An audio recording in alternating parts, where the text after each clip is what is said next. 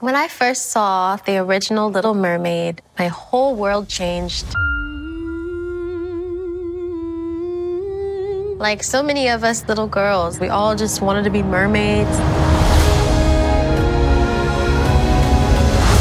I think The Little Mermaid is an iconic, powerful story. It was important to expand and make it a fuller experience.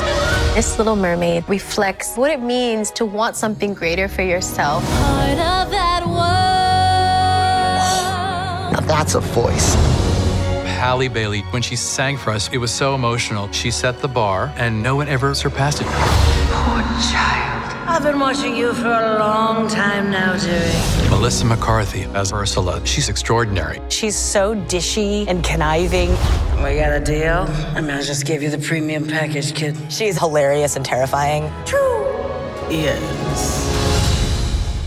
The Little Mermaid It was the first film I ever scored. It's especially emotional coming back. And with Lin Manuel Miranda, who is so brilliant, the songs we've written expand what Little Mermaid is. I feel really proud to work on The Little Mermaid because these characters live in my heart.